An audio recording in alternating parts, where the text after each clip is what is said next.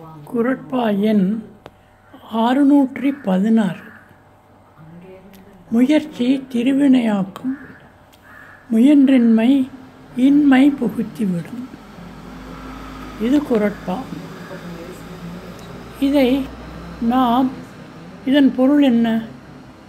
முயற்சி செய்யும் பொழுது அந்த முயற்சி வெற்றியை கொடுக்கும்.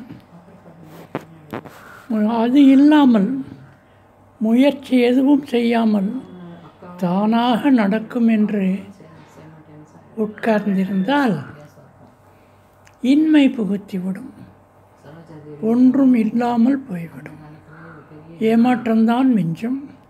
இதுதான் இந்த குரட்பாவின் பொருள். இப்படிப்பட்ட நிலைமையை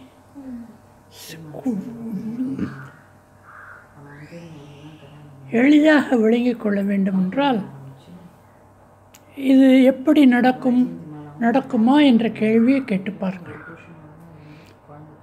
நடக்கும் என்பதுதான் நிதர்சனம். அதற்காகத்தான் சிறு பிள்ளைகளாக இருக்கும் பொழுதே பள்ளிகளில் இந்த கதையை சொல்லிவிடுகிறார்கள் எந்த கதை? முயலும் ஆமையும். அந்த கதையை திருப்பி சொல்லுவோமா?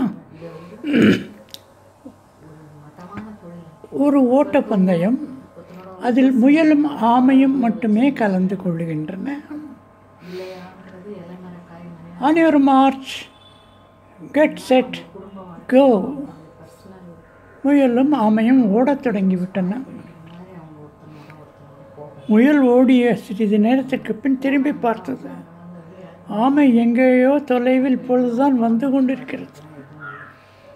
ஆமை அதை பார்த்தவுடன் முயல் சிற்று சிறிது சாதாரணமாக அலட்சியமாக மூச்சு வாங்குவதை தவிர்க்க சிறிது ஓய்வெடுத்துக் கொள்வோமே என்று அங்கேயே படுத்து விடுகிறது. படுத்து விட்டது தூங்கியும் விடுகிறது. அது அந்த முயற்சியை தொய்ய வைத்து விட்டது தொய்ந்து போன முயற்சி. திடீரென்று முயல் முழித்து கொண்டு பார்க்கும் பொழுது பின்னால் திரும்பி பார்த்தால் யாரையும் காணோம். ஆமை பயந்து கொண்டு ஓடிவிட்டதோ என்று திரும்பி பார்த்தால் ஆமை